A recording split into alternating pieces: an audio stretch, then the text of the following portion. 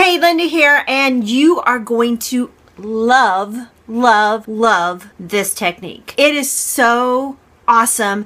And for all you jewelry makers out there, it is going to change the way that you make jewelry. Because now instead of relying on everyone else's designs and shapes and bezels and whatnot, you can make your own. And I'm going to show you how.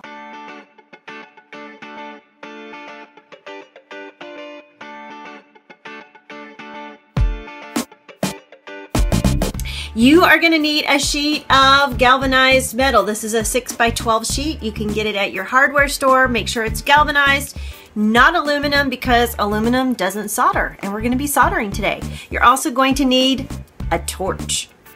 This is awesome. You're going to love working with this torch. Not your creme brulee torch, a propane torch. This makes all the difference. You're going to need some solder and some flux. I'm using 60-40 solder. Step one, now to work with bezels, you're gonna need a backing and you're going to need a rim. So we're gonna cut our rim using our metal shears and I'm cutting my rim about a quarter of an inch wide. Now if you need to sand away any rough edges and hammer it flat. Step two, is to shape your bezel into the shape that you want. I kind of like a semi-round shape. I like the mixed media style, so nothing has to be perfect. It doesn't have to be pretty, folks. Just needs to be in some shape that you like. You're also going to need a backing piece and you want to make sure that you cut this anywhere from a quarter to a half inch larger than your bezel shape. Step three, we need to add some flux because flux is what makes your solder flow. So you're gonna wanna add some flux pretty generously to the bottom of your rim and also to your base plate.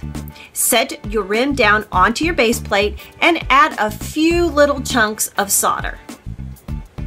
Step four is to fire up that torch and melt the solder. And you're gonna notice that as the solder gets hot, it's going to melt and that flux is going to cause it to spread evenly over the surface. Make sure at this point, once you have it all soldered, that you don't touch it. Don't move it, don't touch it, just walk away and let it cool. After it's cool, then step five is to douse it in some water and clean it up with some rubbing alcohol and a soft cloth.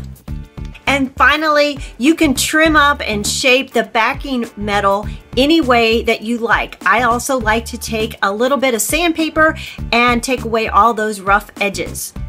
So there you have it, the easy way to make your own bezels. It's gonna take some practice. It's taken me practice. I've worked at this for like three days and I've kind of perfected it a little bit, but it's always a work in progress, so don't sweat the small stuff. You can check out all of my tutorials right here on my DIY channel or on my website at lindapetersondesigns.com. Just make sure you subscribe to my channel and click the like button.